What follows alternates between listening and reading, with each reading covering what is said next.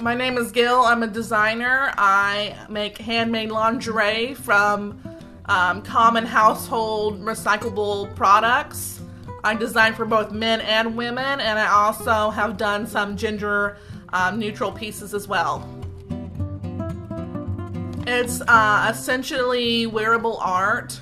You know, you can feel you can feel sexy, you can feel patriotic, you can feel free, and you can feel good knowing that your um, lingerie didn't end up in a, a landfill somewhere.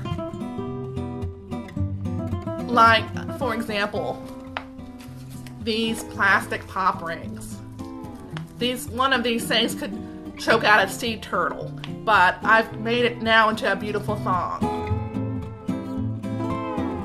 My lingerie, unlike other major lingerie retailers who have their products manufactured in third world countries, and in some of these countries, the employees aren't even allowed to do simple things like get up or even go to the bathroom.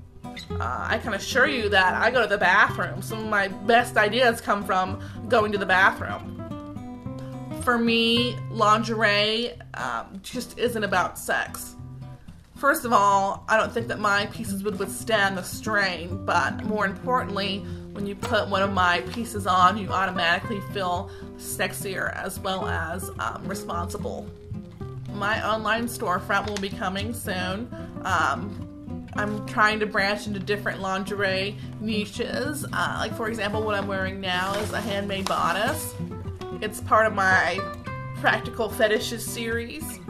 It's versatile. For the dominatrix, you can keep your whip or clamps in here. Um, it's also got a handle on the back for pony play, or you can use the handles to tether yourself or others for bondage play.